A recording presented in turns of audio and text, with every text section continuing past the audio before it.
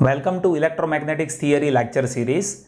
I, Professor Hitesh Dholakiya, is going to explain you few very interesting examples based on potential in this video. So let us see the first question here. So see, a hollow conductor is at potential V. The potential at any point inside hollow is how much? So here this is a question based on fundamentals. One should know when you have hollow metallic conductor then inside hollow metallic conductor electric field will be always zero. You see if I say I have hollow metallic conductor right and if I keep this at potential V you will be observing inside electric field that will be always 0 right? Now if you want potential inside then basic calculation is how much? Electric field that is 0 right? And relation in between potential and electric field that is E is equals to minus of gradient of V right? So here E is 0 so I can say minus of gradient of V that is 0 so I can say gradient of V that is 0 so what it means? V is constant.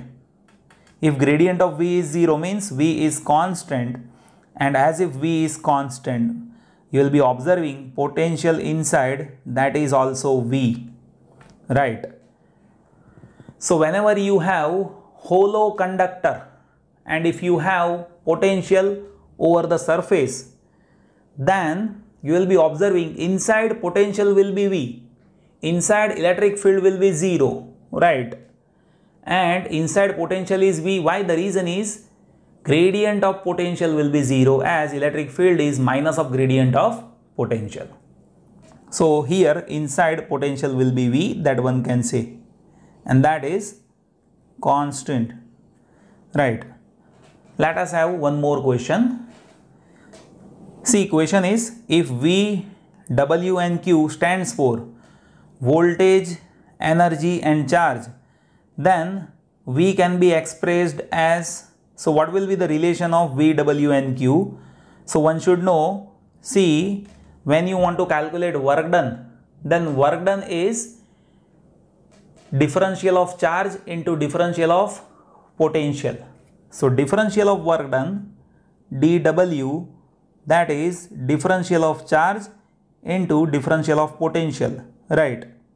So here V stands for voltage, W stands for energy means work done and Q stands for charge.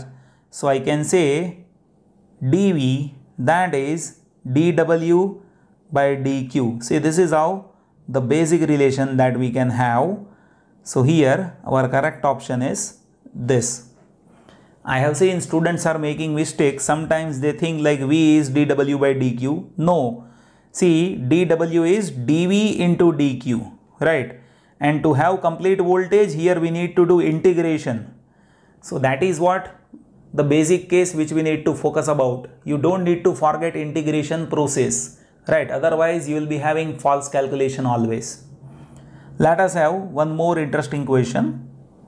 So see in question in uniform electric field, field lines and equipotential surface are parallel to each other, intersects at 45, intersects at 30 degree or they are orthogonal to each other. Now this is very basic question that one should know. See equipotential surface and electric field that should be always orthogonal to each other. Right. So our option is this. But let me show you that practically so that one can understand. Like as if you have point charge let us have point charge q. Then you will be observing electric field that is happening like this. Right. See this is how electric field will be there due to point charge and if you see equipotential surface then you will be observing that is like this right So you can observe this equipotential surface is orthogonal to electric field. Right. Let us have few more cases.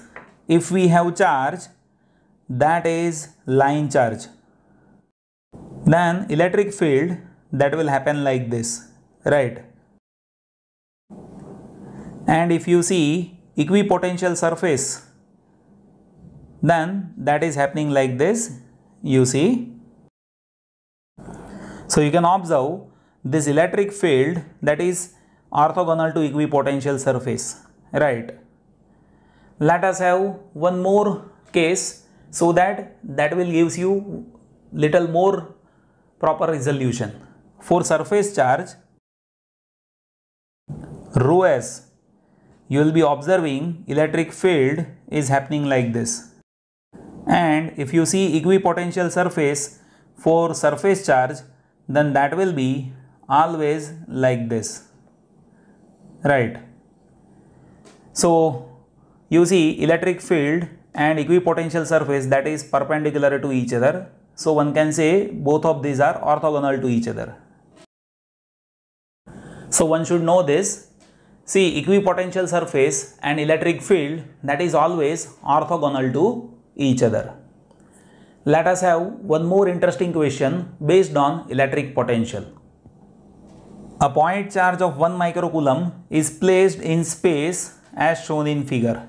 So you see one microcoulomb charge that is placed here. Find VPQ. So you see P and Q that is this points. P is aparted by 40 mm from 1 microcoulomb and Q is aparted by 20 mm from 1 microcoulomb. So one should know what is VPQ. See VPQ that is VP minus VQ. Here I have seen students are making mistake VPQ is always VP minus VQ. Do not try to make it to positive or negative based on your thought process. VPQ is VP minus VQ and VQP is VQ minus VP. See this is how it is there, right? Many of the times I have seen questions are coming like this and students are making mistake. So I hope now it is clear. VPQ is VP minus VQ.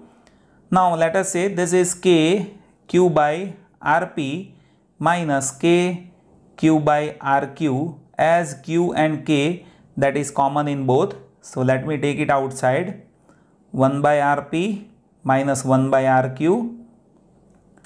Now K is 9 into 10 to the power 9. Q is 1 microcoulomb so 10 to the power minus 6. Rp that is 40 mm so 1 by 40 into 10 to the power minus 3. Rq that is 20 mm. So that is 1 by 20 into 10 to the power minus 3. Let us simplify this further. So 9 into 10 to the power 3 that I am having. Now see this is 1000 by 40 minus this is 1000 by 20. So this will be, if you simplify this, then that will be minus 225 voltage. So VPQ that is minus 225 voltage. I hope you have understood this video. Thank you so much for watching this video. If you have any further questions, just place that in comment box. I'll be happy to help you.